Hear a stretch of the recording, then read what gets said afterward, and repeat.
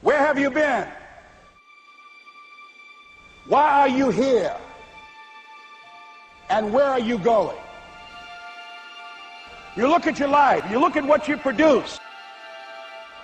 Is it giving you what you want? Are you living on purpose? Are you living your dream? Are you acting on your ideas?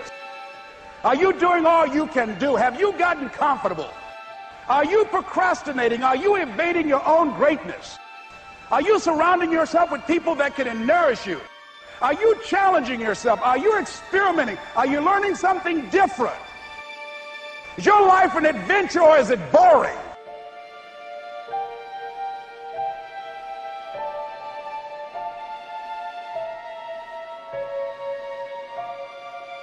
Why are you here? What brought you here? Investing the time, the money. What brought you here?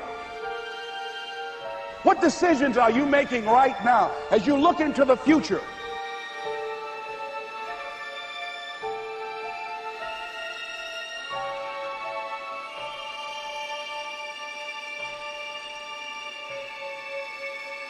Where are you going with your life?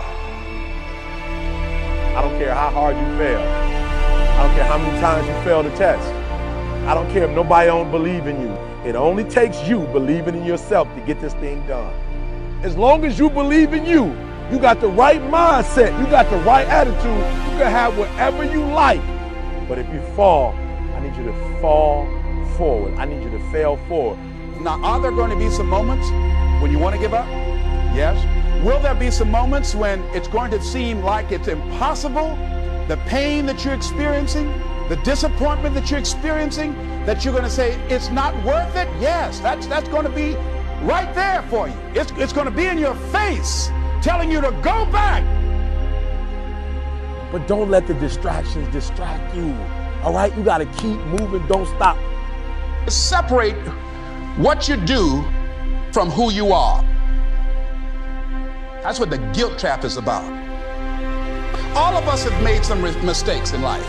All of us have done some things that if we had them to do over again, we wouldn't do it again.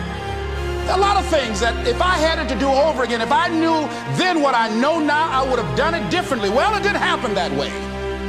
A lot of us, because of our limited vision of ourselves, a lot of us who begin to focus on problems and enable them to overwhelm us, we begin to think that we have no options. We begin to believe that there's no way out.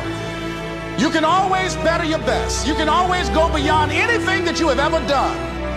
And I'm saying that the fact that you're still here, that you're still breathing, you've got some more work, and you owe it to yourself. So when you get up in the morning, that you can look yourself in the face and say, hey, I'm living my life on my terms. But I tell you, there are some times in life where you fall down and you feel like you don't have the strength to get back up. Pretend that everything's okay when it's not, and you go home and lay in your bed when no one's looking at you, when you don't have to impress anybody, and fear comes in. You know the fear that you have as soon as you walk into the doors of your house, maybe there's a broken home. Maybe you have doubt in your life. Maybe you don't know for sure what's going to be happening in the future and it scares you. Maybe about maybe you're worried about what people think of you, what people say about you. Just that fear paralyzes you. And I just want to ask you today, do you think you have hope?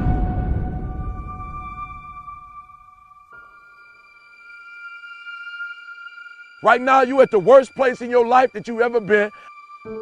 I believe that this is your beginning, but this doesn't have to be your end that just because you are currently here, this is your present circumstances, that life don't have to end for you right now. What is it that will give you the drive? What is it that will ignite the courage in you to get up and come back again and again and again? Your why. Your why is going to push you when you can't push yourself. When you want to quit and give up, your why is going to give you that edge you need, that advantage you need, that, that lift that you need to get to the next level. Your why. Yes, we tired. Yes, we're hungry. Yes, the mind is saying give up. Yes, it's saying quit. But we cannot quit because we realize we have not reached the goal yet. This is not what I said I was going to do. This is what I talked about. This is not the goal. This is not what I dreamed about. This is not what it looks like.